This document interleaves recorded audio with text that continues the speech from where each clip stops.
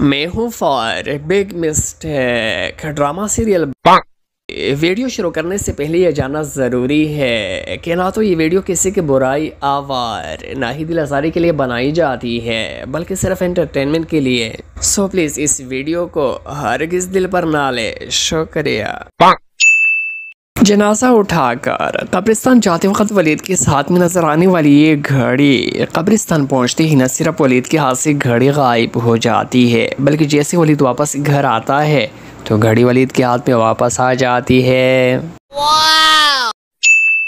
जनाजा उठाकर जाते वक्त वासिफ के हाथ में ये छोड़ी कब्रिस्तान पहुँचते ही छोड़ी गायब हो जाती है, लेकिन फिर जैसे वासिफ घर आता है तो छोड़ी भी वापस आ जाती है। असरा से लड़ने के बाद घर छोड़कर जाने के लिए फरहद इस रेड बैग में अपना सामान ठोस रही होती है, लेकिन जैसे कमरे से निकलती है तो फरहद कोई और बैग उठाकर जा रही होती है। तावीज़ देखते वक़्त फरहद के इस हाथ में कोई भी जोड़ी नज़र नहीं आती। जैसे जमाल को बुलाने के लिए कमरे में आती है तो फरहद के साथ में ये जोड़ी आ जाती है।